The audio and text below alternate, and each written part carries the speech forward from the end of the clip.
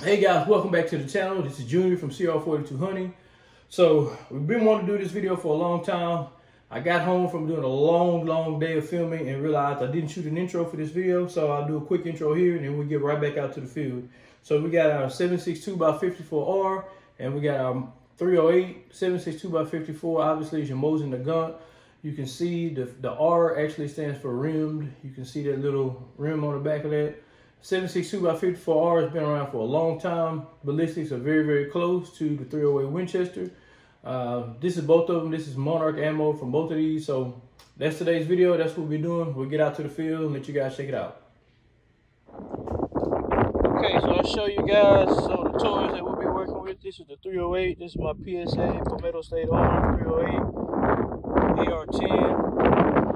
And this is my Mosin gun, which I have not shot been shooting other videos, hadn't got a chance to get out and shoot. There is in all of. We'll be shooting it in this ballistic gel first. You guys can see a few tracks in here already. We did a few tests earlier today. We'll be shooting Monarch in both of these. We got this Monarch 185 grain full metal jacket for the Mosin and 145 grain for the 308 Monarch steel case, same ammo FMJ. So we'll shoot the ballistic gel first, and then we'll take some shots at this Robo and see if maybe that Mosin can bust through two of these 4 inch Robo So that's the test. Really excited. So let's get it shooting. All right. So Jake's gonna take a shot with the 308. All right, go ahead, Mr. Jake. Show you guys what this round looks like up close. Just a steel case Monarch FMJ. All right, let's see what happens here.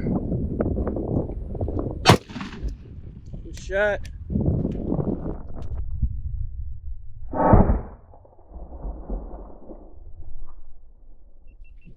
All right, there shot with the 308. And did it go out of the table? Not sure what happened there it went through and through. But you guys can see this wound channel here. Now that wound channel is already there from another shot. The wound channel you just put in is right there. So it started going down right here, downward trajectory. And I saw something fly. Piece of table. That shot did indeed go out of the bottom, so we're gonna take another shot here. All right, Jake, see if we can keep it in the block.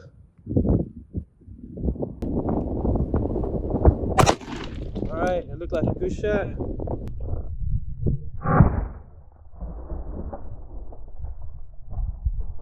Man, look at that. That expansion. Even though it's a full metal jacket, did a lot of damage. Went all the way through the first block. And there she is into our second block. So we'll get a measurement on that. Let's shake it out there. Okay, let's get a measurement on this thing. It went about 25 inches. All right, well, let's yank her out.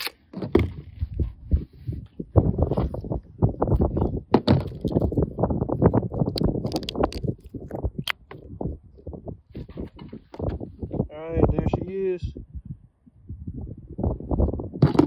So that is the 145 grain 308, went about 25 inches into the second block. So let's grab this Mosin and take a shot and see what kind of damage we get here in this ballistic gel. All right, let's catch it with this Mosin Nagant, see what kind of damage we do. Obviously, we know the Mosin the gun on you, Jake, has been used uh, for a long time. It's the oldest, uh, longest in use uh, in the world, and there's still places around the world where they use the Mosin Nagant And 762 by 54R. All right, Jake, on you. All right, I think that stayed in.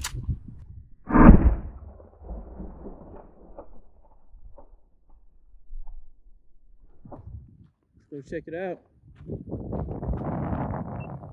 Dead stay in, I can see it from here.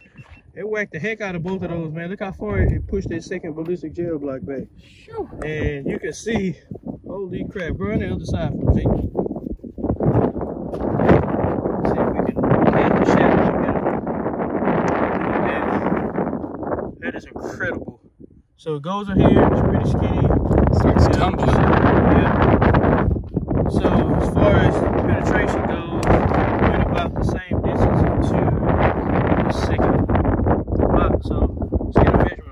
did that too. All right, let's see how far. Around 23 and a half inches. All right, the bigger that'll do.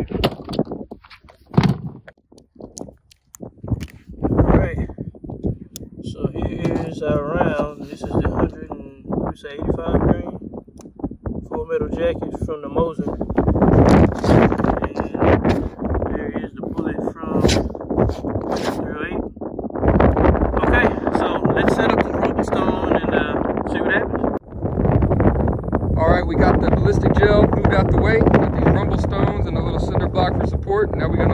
Junior do some shooting on his own YouTube channel. Here we go. Ready to go? All right, let's take this shot, Mr. Jake. Ready when you are. All right,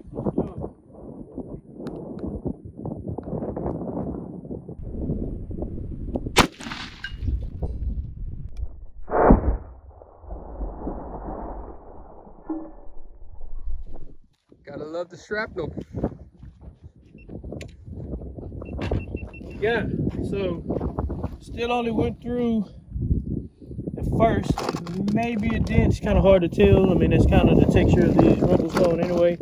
So obviously, still only went through one rumble stone. No damage here. And if we get lucky, we may have to do it off camera. We'll see if we can find find that bullet. All right, let's take a shot with the Mosin and uh, see if we can get through two of those rumble stones.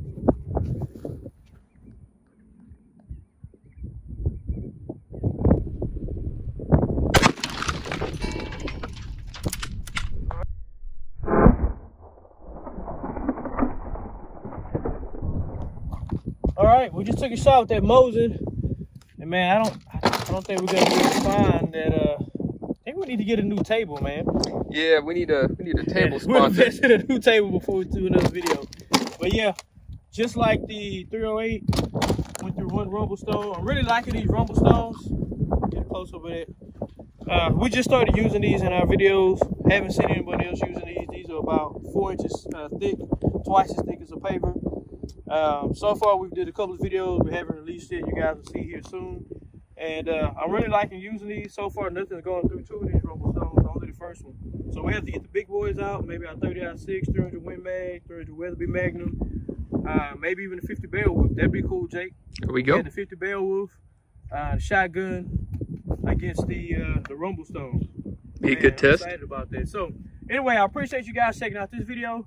I'll put a link to our 30 Super Carry playlist up here. I'll put a link to our 6.8 Western playlist. You guys go check those out. Appreciate you guys checking out this video. Thanks as usual. See you next time. Junior out.